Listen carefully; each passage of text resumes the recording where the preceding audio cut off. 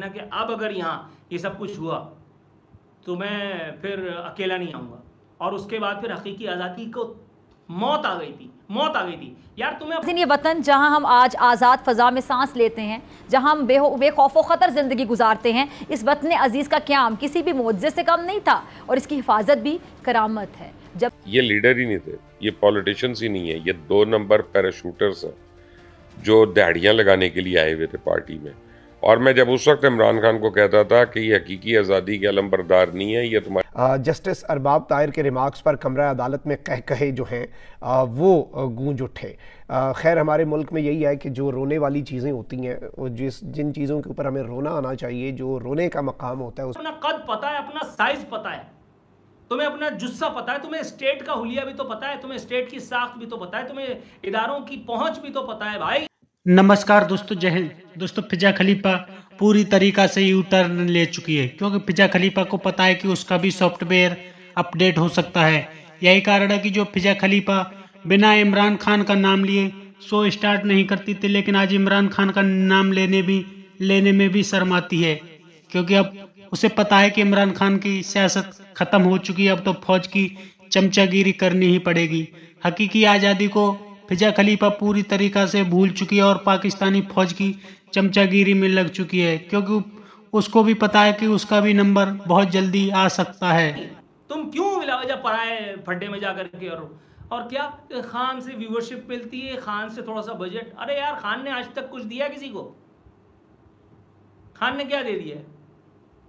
खान ने तो किसी को कुछ भी नहीं दिया। जो उनके साथ थे, जिन्होंने अपने कंधे दिए खान को यहाँ तक पहुँचाने के लिए, खान उनके जनाजों में नहीं जाता। तुम्हें क्या दे देता वो? अब वो देखो, हारे हुए जुआरी की तरह बैठे हैं, पिंकी पीरनी के साथ लूडो खेल रहे हैं।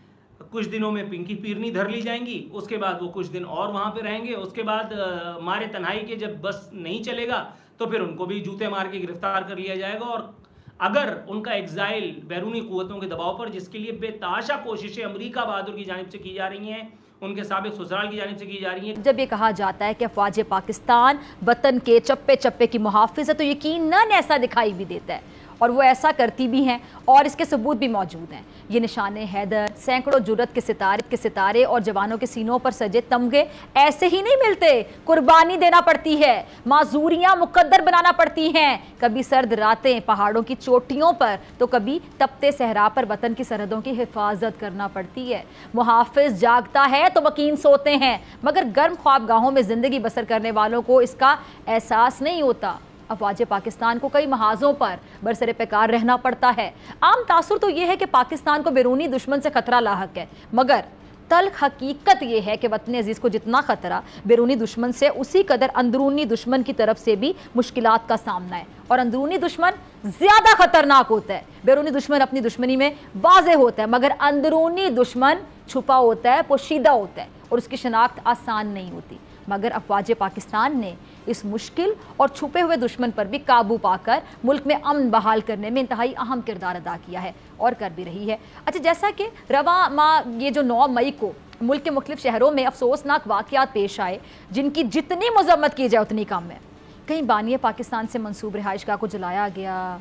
कहीं इस वतन की खातिर अपनी जानों के नजराने देने वाले हीरोज़ के मुजस्मत की बेतौकीरी की गई। कहीं रोज़ कुर्बानियाँ देने वाली वाज पाकिस्तान की तनसीबात को निशाना बनाया गया तो कहीं सिविल तनसीबात और इमलाक को भी शदीद नुकसान पहुँचाया गया। वो काम जो बैरूनी दुश्मन पचहत्तर बरसों में नहीं कर सका, अंदरूनी दुश्मनों ने करके दिखाया, मगर फिर कौम जाग गई। अंदरूनी दुश्मनों को पहचान गई। फिर मुल्क के चप्पे चप्पे पर अफवाज पाकिस्तान जिंदाबाद के नारे बुलंद हुए। शोहदा को खराज तहसीन पेश किया गया। अच्छा army chief general Asim Munir साहब ने यादगार शहदा पर हाजिरी दी। फूल चढ़ाए, फातिहा खानी की और शहदा के बुलंद दर्जात के लिए दुआ की। योम तकरीम शहदा के मौके पर पाक फ़ौज के शोबा तल्लत आमा आई एस पी आर का कहना है कि किसी को भी शहदा की लाजवाल कुर्बानियों को मजरू करने की इजाज़त नहीं दी जा सकती। पाकिस्तानी कौम शहदा और उनके काबिल फ़ख्र ख़ानदानों की मकरूज़ रहेगी। आई एस पी आर की जानब से जारी बयान में कहा गया है कि शहदा हमारा फ़ख्र हैं और हमेशा रहेंगे। आज पूरी कौम के लिए हर शहीद को खराज कीदत पेश करने का दिन है और इनमें वो तमाम शहदा शामिल हैं जिन्होंने जिद्दोजहद पाकिस्तान से लेकर आज तक इस वतन अज़ीज़ के लिए अपनी जानें कुर्बान की। कई दफ़ा बता चुका हूँ, दोबारा बता रहा हूँ। अगर उनका एग्जाइल नहीं हुआ तो इमरान खान को कैद से निजात नहीं मिलेगी, इमरान खान कैद में ही एक्सपायर होंगे। इन्होंने मज़ाक समझा हुआ था। इन्होंने मज़ाक समझा हुआ था, आर्मी चीफ के गिरबान पे हाथ डाल दिया, डीजी आईएसआई के बारे में, वो डीजी करके मज़ाक कर रहे थे ये। इनको लग रहा था कि ये इमरानडू मीडिया जो है, ये समी इब्राहिम जैसे जो टुच्चे हैं, ये इनका कुछ, इनको कुछ, समी इब्राहिम की अल्लाह माफ़ करे, हमने ट्रांसमिशन, अब वही मुँह खुलता है तो फिर बहुत सारी बातें, जब मैंने ज्वाइन किया तो हमें एक दिन प्रोग्राम में, मैं, मेरे ख्याल शायद यही कोट पहने हुआ था। तो वो मुझे आकर के जी ब्लैक पट्टी बाँध दी। मैंने कहा, भाई, ये क्या है? कहने लगे, सर, वो समी इब्राहिम साहब को डब्बू ने मारा है। मैंने कहा, यार, इतनी देर में मारा है? खैर, बहरहाल, हम गए, बैठे जाकर के हमने अपना प्रोग्राम किया और आ गए। समी इब्राहिम डब्बू चौधरी से पिटा और कहाँ कहाँ खज्जल नहीं हुआ, कहाँ कहाँ ख्वार नहीं हुआ एफआईआर कटवाने के लिए। एफआईआर कटवाने के लिए चैनल का एमडी था, चैनल का एमडी। और मैंने टेलीविज़न पे कहा था, मैंने कहा, फवाद चौधरी, मैं तुम्हारा बाजू उखाड़ लूँगा।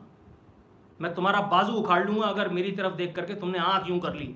और फवाद चौधरी उस वक्त सिटिंग मिनिस्टर था इन्फॉर्मेशन साहब आप लोगों से किस किस के रबते हो रहे हैं? कौन कौन आएगा पीपल्स पार्टी में मेरे साथ प्रोग्राम में तो पिछले हफ़्ते में जितने लोग मौजूद थे वो कुछ लोगों के लिए कह रहे हैं दरवाजे बंद हैं। जरा इशारा देते किन लोगों के लिए दरवाजे बंद है? दूसरा सवाल मेरा ये कि पीपल्स पार्टी तो बड़ी मेचोर सी पार्टी है। आप लोग दिल में ग्रजेस रखते ही नहीं आप लोगों ने भी दरवाजे बंद कर दिए कुछ लोगों के लिए।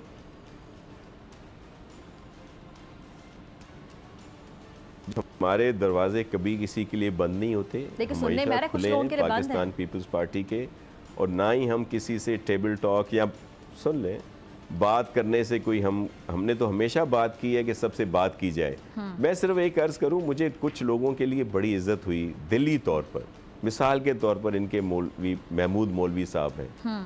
उन्होंने फौरी तौर पर और वो इनके बड़े करीबी हाँ। थे हालिया जीते थे उन्होंने इस्तीफ़ा दे दे दिया इनसे ला ताल्लुकी की और इस्तीफ़ा भी दिया। वो सीट भी नहीं रखी अपने पास। हाँ। तो ये उनका बड़ापन है।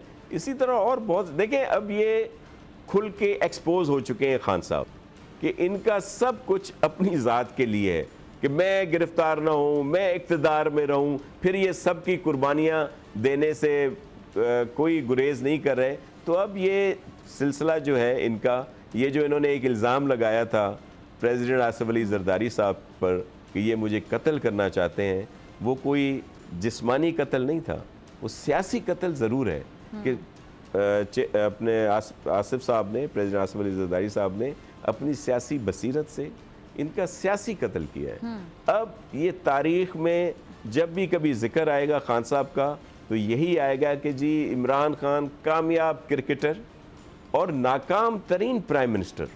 पाकिस्तान की तारीख का। अच्छा ये टाइगर नहीं है ये तुम्हारे चूहे हैं और देखना ये मेंढकों की तरह पुदक के निकलेंगे जब तुम इनके ऊपर को तवा गर्म होगा तो।